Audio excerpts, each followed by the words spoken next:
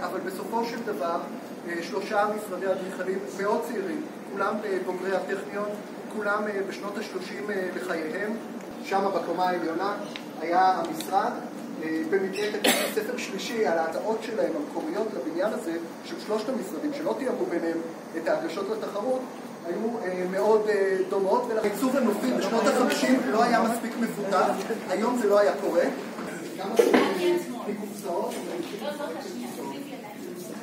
בישראל באותה תקופה, 1955 עד 1960, הרבה מאוד מהאוכלוסייה בישראל עדיין גרה באוהלים, בפחונים, במעברות. ואם תשימו לב רק על האולם הזה, יש פה מיזוג מרכזי, לא היה כמעט מיזוג מרכזי באותה תקופה.